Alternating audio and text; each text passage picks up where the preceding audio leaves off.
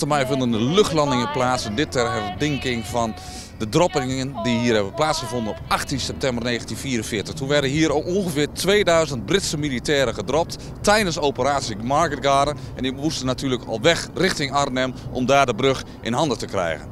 Ontzettend indrukwekkend gezicht. Dan moet je nagaan hoe dat eruit moet hebben gezien tijdens die droppingen op 18 september 1944. En we staan hier na 75 jaar, staan we hier weer opnieuw.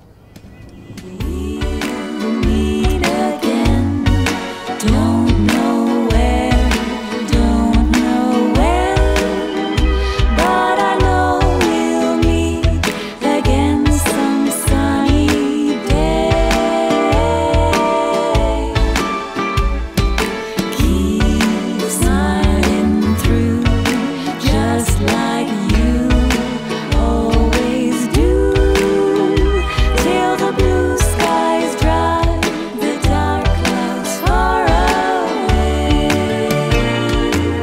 Eh, we staan hier bij het eh, nieuwe monument wat eh, is onthuld hier op de Ginkelsheide.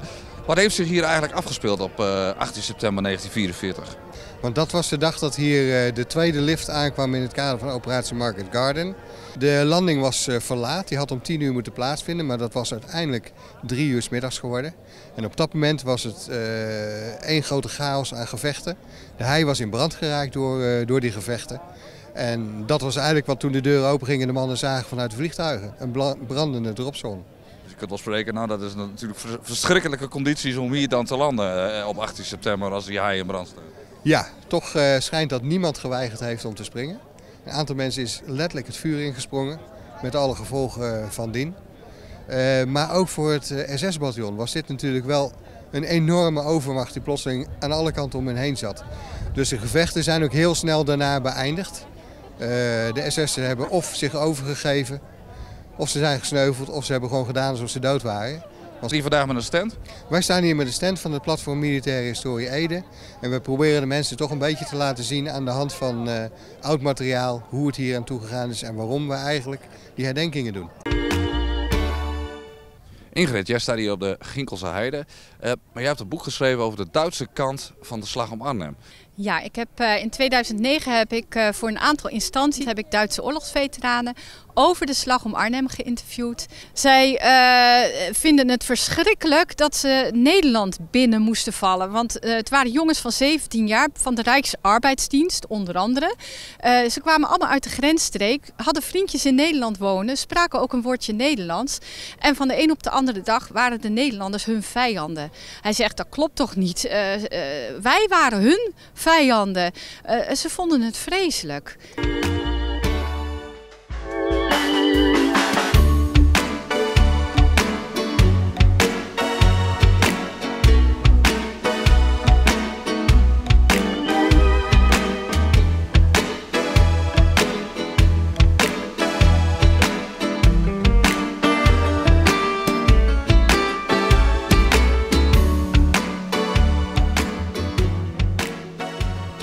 Uh, Luke, we are standing here with a horseback rider together with uh, a veteran Ron Johnson. Welcome here. Um, Luke, what can you tell about this horseback glider? Well, it's a, a very special uh, glider. This was one of the major um, gli- uh, assault gliders that was used in the Second World War. Um, over um, 4,000 were produced, and at Arnhem, more than 600 made their way to Arnhem, and almost 600 arrived at Arnhem.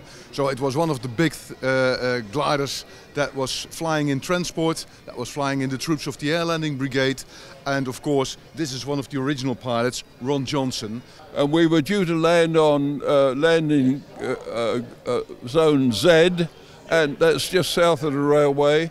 We did a full flap landing, and uh, it all went very well indeed. It, almost just like an exercise. It went so well.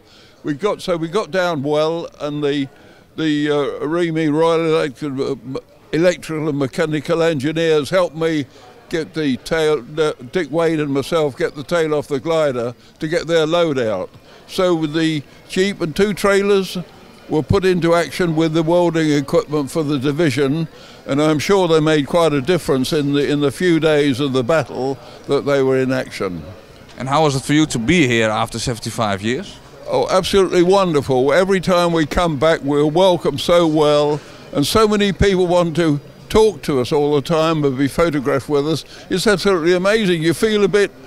You feel a bit as though you're a film star. You're not really. You're just a veteran. But but uh, they, everybody makes us so welcome. Really is good. That's good to hear. Luke, how uh, how important were the gliders during uh, this operation, Market Garden? Those gliders were very important. Um, th- those gliders meant that, that they had the opportunity to bring in not only troops, for instance, um, if you've got paratroopers, they will jump out of an aircraft and, and land in a specific area.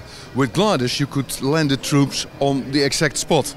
And as a platoon, they would be together. But also jeeps and, and six pounder guns together in one glider uh, with the crew, or um, uh, jeeps and trailers, or the reconnaissance jeeps that were for the coup de main at the bridge. They all were flown in uh, by these gliders. Uh, one thing I would like to say, which makes it very special, these gliders are made of wood. Yes, um, they've they, they've got a very soft skin. They've got no engines, and the people in the gliders didn't have any parachutes. So if you compare this to, um, for instance, the parachute regiment that was in uh, aircraft of metal with engines and with parachutes. So these guys are really special. So you heard it. You're really special. I was for you to I see? feel really special. Yes.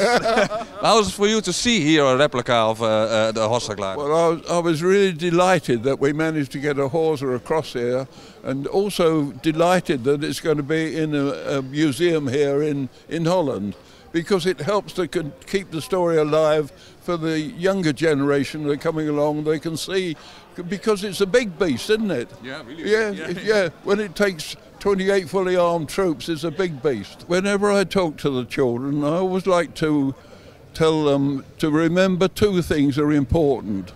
One, we are free, and the second thing to remember is that we love one another.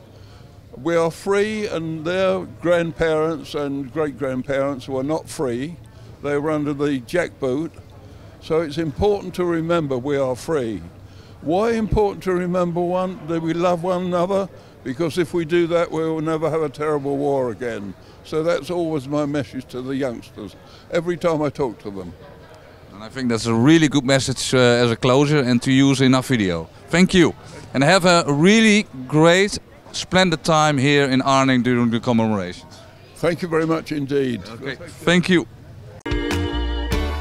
Eh, we staan nu bij het Airborne Museum. Dat was het voormalige hoofdkwartier van de eerste Britse luchtlandingsdivisie tijdens de slag om Arnhem.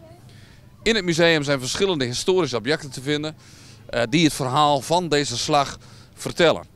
Onder andere is een experience in de kelder waarbij mensen ook het laten beleven hoe die slag eigenlijk heeft plaatsgevonden hier.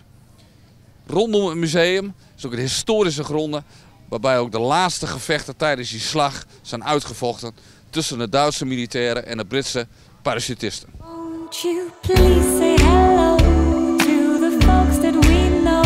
Tell them I won't be long. She won't be long. They'll be happy to know that if you saw me.